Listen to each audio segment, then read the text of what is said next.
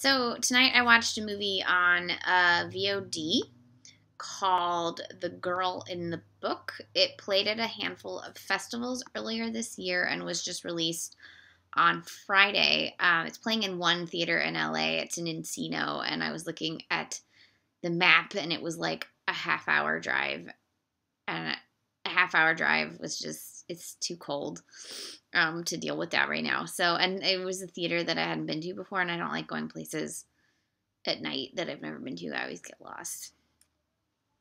I get lost. So, luckily, this film's not available on VOD, so I rented it from the YouTubes. Uh, it was uh, seven bucks. It's cheaper than a movie ticket, so you know, there you go. Um, it's written and directed by a woman who has the same first name as me.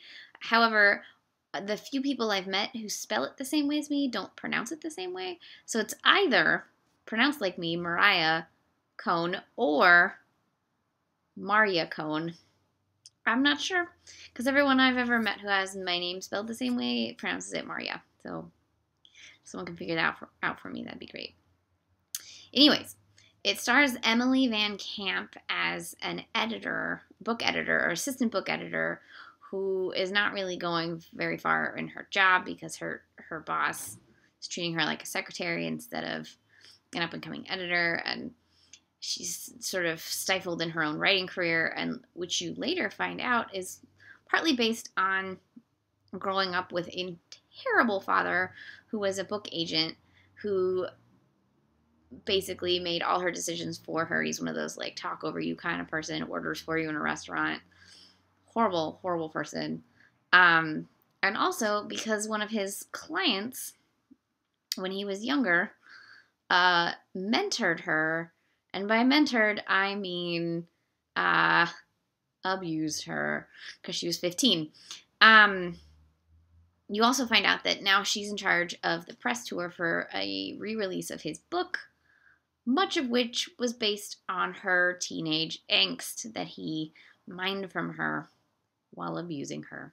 This sounds really bleak, and it is a little bleak, but it's also about her coming to terms with the fact that her parents let her down and let this happen to her and that this doesn't define her and so it's sort of about being a survivor and dealing with self-care and have surrounding yourself with people who uh, support you and who love you and that's mostly in the gaze of her uh, guys of her best friend who um, I really enjoyed this actress. I hadn't seen her in anything before. Um, Ali Ahn was her name.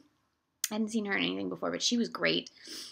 And then like a new love interest that was played by David Call, someone else I haven't seen anything before. And then the younger version of Emily Van Camp's character was played by an actress named Anna Mavoy Ten, and she was so good. She had very expressive eyes. Both of these actresses had really expressive eyes, um, and a really was both gave really emotionally resonant performances.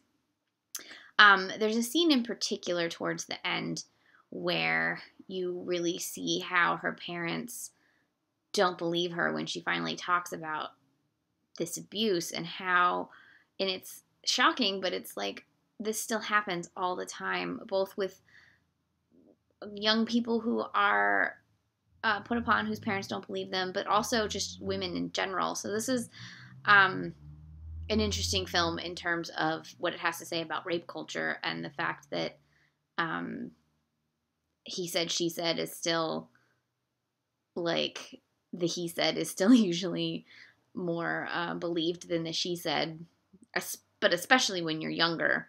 Um, no one listens to teenagers in general, and then you throw her in like horrible glitterati, uh, literati New York society where with self-absorbed parents, and then you're just lost. Um, but I thought I thought this was a, a pretty good film. Uh, it was a little shaky at the beginning. I, I, had trouble getting into it for the first like 10 minutes, and then it really found its stride and was um, thought a very well constructed little independent film.